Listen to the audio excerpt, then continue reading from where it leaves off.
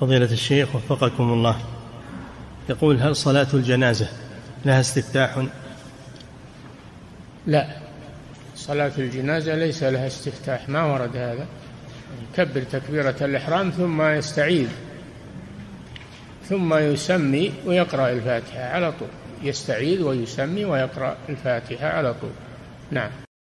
إعداد مشروع كبار العلماء بالكويت. أعزها الله بالتوحيد والسنة.